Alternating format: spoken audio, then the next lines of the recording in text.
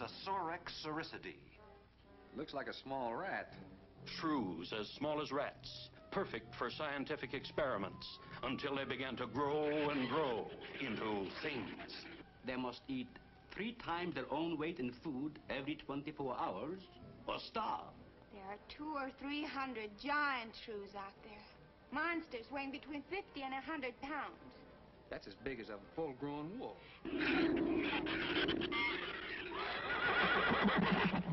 Blood-curdling, horrifyingly poisonous monsters. It was the livestock. The shrews got into the barn. The wildest of flesh eaters, threatening all mankind.